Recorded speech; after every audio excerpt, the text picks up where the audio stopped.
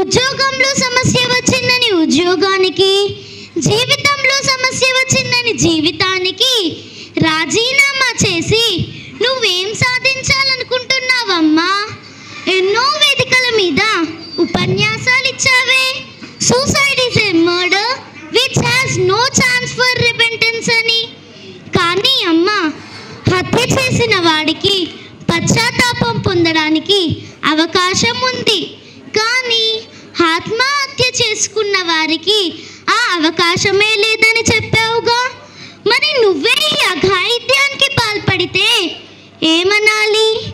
చూడమ్మా బయటి ప్రపంచంలో చదివే అమ్మాయిలకు ఉద్యోగాలు చేసే అమ్మాయిలకు ఉద్యోగాలు చేసే స్త్రీలకు ఈ వేధింపులు తప్పవు. వాటిని ఓర్పుతో నేర్పుతో సమయ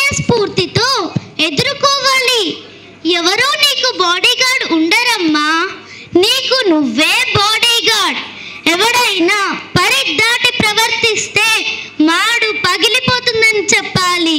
అతిగా ప్రవర్తిస్తే చెంప చెల్లుమనిపించాలి అంతేకాని నేను